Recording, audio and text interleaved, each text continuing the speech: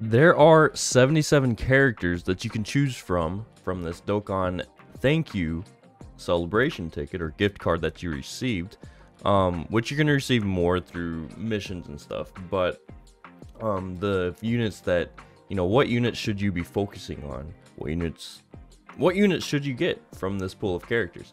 Um, and from this AGL pool, the Super AGL, one of the top ones that I think you should focus on is uh, Ka Caulifla, Super Saiyan 2 Caulifla, because she does have high utility in her high chance to dodge, and her EZA is actually very very solid. Um, she can she can deal out some damage, but she she definitely her her high point or her greatest skill is the high chance to dodge. So, um, she's one of the ones that you should definitely be focusing on if you don't have her. Um, and then there's also this Super Saiyan 2 Vegeta.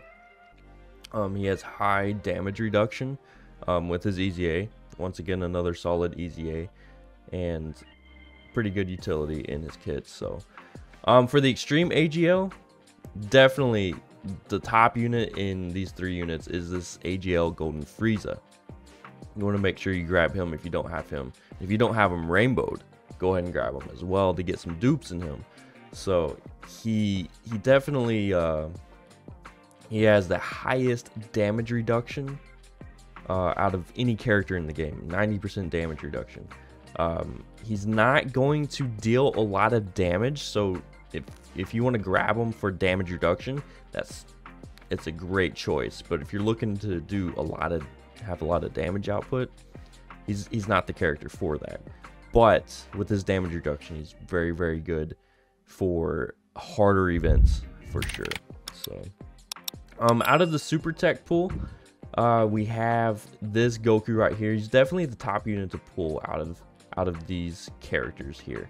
Uh, he stacks attack and defense um, after his EZA, and uh, he's very good for the upcoming legendary Vegeta event. Um, he he definitely has a lot of utility and his kit overall is very very good. Um, and once again with his stacking ability he he can deal a lot of damage in longer events and also stack that defense to make sure you have that survivability.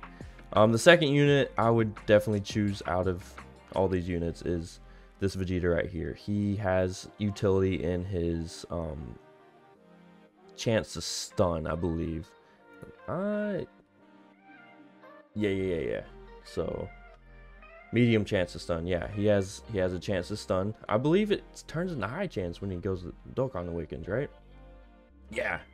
So yeah, he definitely is a good unit for um, things like Super Battle Road. Um, he has that high utility to stun, and so and he does. I believe he has an easy EZA, doesn't he? No, no, no, he doesn't. Okay, okay. So but yeah, so that would be the second unit in that pool of characters to get um, from Super Tech. Extreme Tech, um, this Frieza's Dokkan Awakening is uh, decent, and he goes well with this cell right here. These are um, two units that go well together. So if you do plan on picking him up, definitely pick him up, and they pair well together. Um, and their Dokkan, Dokkan Awakenings are very, very decent. So, um, for the super intelligence, the top unit here that I think you should grab is this Mai right here. She's a very good support for time travelers category, for the time travelers category. Um, she also has a chance to stun enemies. Um, so she has great utility and she's a great support. I believe it's key plus three and attack and defense plus 30%. So um, don't quote me on that. Um, but I believe that's it. So for the support. So yeah, utility and support for her. Um, for the extreme, there are two that come to mind.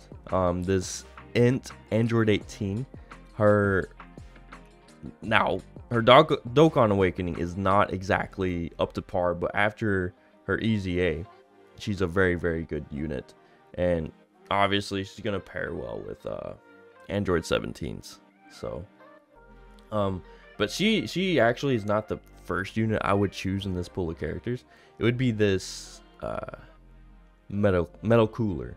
Um, he he's a very good support unit for extreme class units, not just intelligence, but extreme class overall.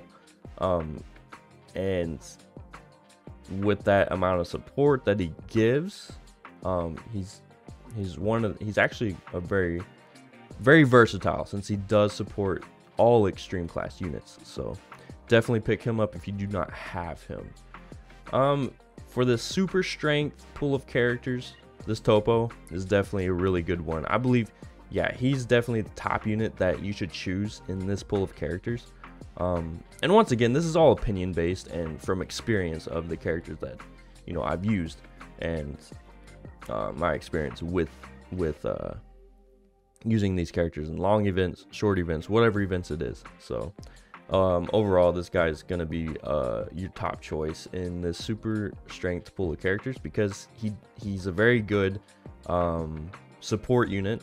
Um, he's very versatile in that because he supports, uh, I believe, all allies. Yeah, all allies, and he does have some damage reduction. So he he's very good at defensively as well. He does not output a lot of damage, but that's not his role. He's he's a support unit and a defensive unit. Um, if you're wanting to buff Peppy Gals, Chi Chi's a really good one to uh, uh, get as well. She um, she'll be really really good on your Peppy Gals category team. But we also have, I would say he's a sleeper unit. This Vegeta right here. Um, one of the one of the first unit, if not the first units that has counter.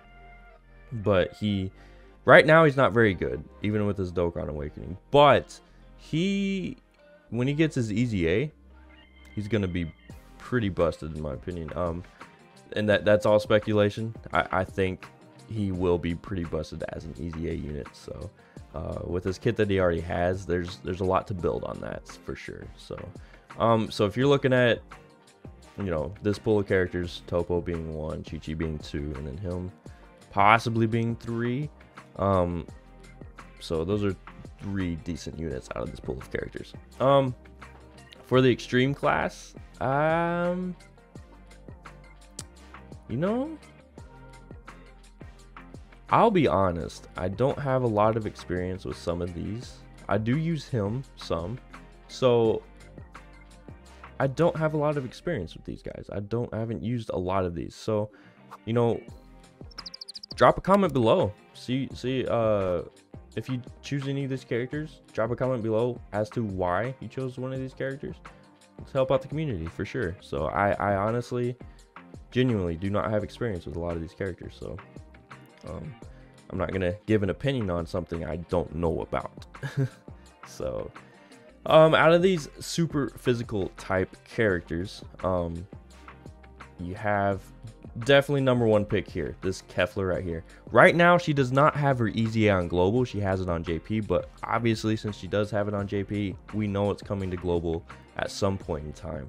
Um, so definitely pick her up. And in my opinion, out of all these characters we're going through and talking about, she's definitely going to be the number one pick overall for um, this whole pool of characters. And I'm talking like not just getting a copy of her, but rainbowing her. You need to rainbow her because her EZA is busted for sure. And she's going to pair well with Kales and Cauliflas and all that good stuff. So, number one here for super phys- physical and number one overall, in my opinion. And then you have Kale, she has a decent EZA for sure, and she will pair well with this Kefla right here. And then you have this Goku right here. He has high utility in his high chance to stun, which is very, very good after his Dokkan Awakening. And uh, he has an EZA as well. Right here. So with his easy A, he's definitely Oh, so he goes from high chance to great chance of stunning the enemy. I forgot about that. So yeah, definitely with his EZA, and he's an older EZA. Um. So and his his passive is not bad, but you know, his his where he shines really well is his uh great chance of stunning the enemy. So it's very good for harder events like Super Battle Road. So, um, come on, back up, please. Thank you. All right, and out of these extreme physical type characters, um, definitely pull get this Vegeta if you don't have him. Um, he's very good for the legendary Goku event, and he stacks attack and defense, so he has a lot of versatility and utility for long events. And I've used him quite a bit. He's saved me quite a few times, so I I definitely trust this unit a lot. This Bergamo is also still really really good, even though he has to take hits in order to get his full passive going, his full potential on his passive. And that's fine. Once he starts taking hits, he gets that damage reduction, he gets the build up on that defense. He's good for the, the whole event. So um, definitely one of these two. Um, if I were to pick one of these two over the other, I would probably choose this Vegeta. Um, because he's he has more uses, but he still he still has a lot of uses if if uh, if you have him. So all right, that is my opinion. Um, thanks for watching. Until next time, I hope this helped you out, guys. Bye. Bye, y'all.